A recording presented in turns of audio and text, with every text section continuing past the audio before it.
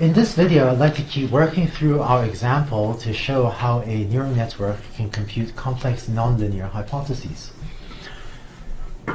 In the last video, we saw how a neural network can be used to compute the functions x1 and x2 and the function x1 or x2 when x1 and x2 are binary, that is, when they take on values in 0, 1. We can also have a network to compute negation, that is, to compute the function not x1.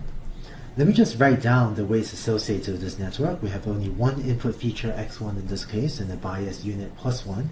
And if I associate this with the weights plus 10 and minus 20, then my hypothesis is computing this. h of x equals sigmoid of 10 minus 20 times x1.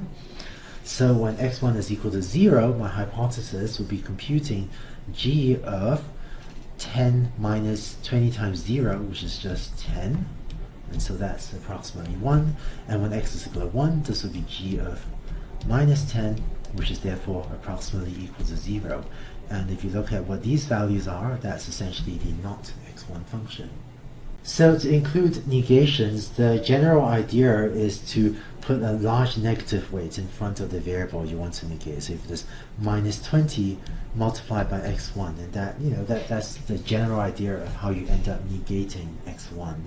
And so in an example that I hope you really figure out yourself, uh, if you want to compute a function like this, not x1 and not x2, you know, well, part of that would probably be putting large negative weights in front of x1 and x2, but uh, it should be feasible to get a neural network with um, just one output unit to compute this as well. Right? And so this, this logical function not x1 and not x2 is going to be equal to 1 um, if and only if x1 equals x2 equals 0, right? So this is a logical function that says not x1, that means x1 must be 0, and not x2, that means x2 must be equal to 0 as well. So this logical function is equal to 1 if and only if both x1 and x2 are equal to 0. And uh, hopefully you should be able to figure out how to make a small neural network to compute this logical function as well. Now, taking the three pieces that we have put together, the network for computing x1 and x2, and the network for computing not x1 and not x2, and uh, one last network for computing x1 or x2, we should be able to put these three pieces together to compute this x1, XNOR, x2 function. And just to remind you, if this was x1, x2, this uh, function that we want to compute would have negative examples here and here, and we'd have positive examples there and there. And so clearly this, you know, will need a uh, nonlinear decision boundary in order to separate the positive and negative examples. Let's draw the network. I'm going to take uh, my input plus 1, x1, x2 and create my first hidden unit here. I'm going to call this A21 because that's my first hidden unit.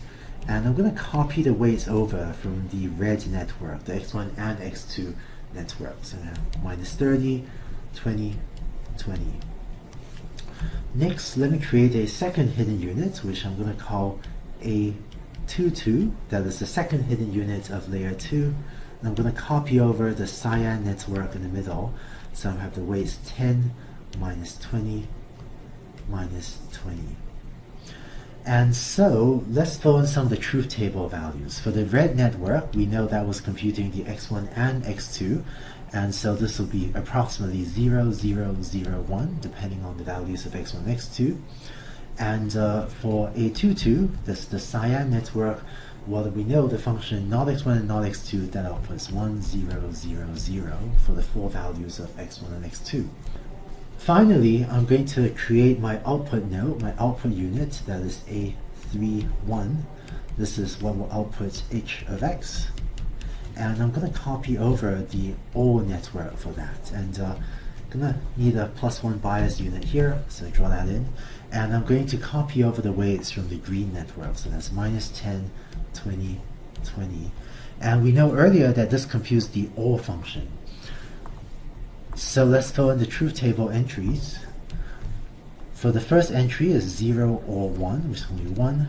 Then next 0 or 0, which is 0, 0 or 0, which is 0, 1 or 0, and that falls to 1. And thus, h of x is equal to 1 when either both x1 and x2 are 0 or when x1 and x2 are both 1. And concretely, h of x outputs 1 exactly at these two locations and it outputs 0 otherwise. And thus with this neural network, which has an input layer, one hidden layer, and one output layer, we end up with a nonlinear decision boundary that uh, computes this XNOR function. And the more general intuition is that in the input layer, we just had our raw inputs, then we had our hidden layer, which computed some slightly more complex functions of the inputs that is shown here. slightly more complex functions. And then by adding yet another layer, we end up with an even more complex nonlinear function. And this is the sort of intuition about uh, why neural networks can compute pretty complicated functions. That when you have multiple layers, you have you know, relatively simple function of the input to the second layer, but the third layer can build on that to compute even more complex functions, and then the layer after that can compute even more complex functions. To wrap up this video, I want to show you a fun example of an application of a neural network that captures this intuition of the deeper layers computing more complex features. I want to show you a video that uh, I got from a good friend of mine, Yann LeCun. Yann is a professor at uh, New York University at NYU, and he was one of the early pioneers of neural network research and is sort of a legend in the field now, and his ideas are used in sort of all sorts of uh, uh, products and applications throughout the world now. So I want to show you a video from some of his early work in which he was using a neural network to recognize uh, handwriting, to do handwritten digit recognition. You might remember early in this class, at the start of this class, I said that uh, one of the early successes of neural networks was trying to use it to read zip codes to help US, you know, to help us uh, send mail along, so read postal codes. So this is one of the attempts, one, this is one of the algorithms used to try to address that problem. In the video that I'll show you, this area here is the input area that shows a handwritten character shown to the network. This column here shows a visualization of the features computed by sort of the first hidden layer of the network. And so the first hidden layer, you know, this visualization shows different features, different edges and lines and so on detected. This is a visualization of the next hidden layer. It's kind of harder to see, kind of hard to understand the deeper hidden layers. And that's a visualization of what the next hidden layer is computing. Um, you probably have a hard time seeing what's going on you know, much beyond the first hidden layer.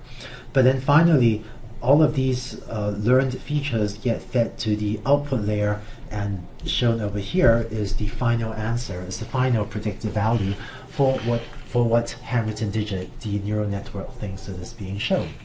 So let's take a look at the video.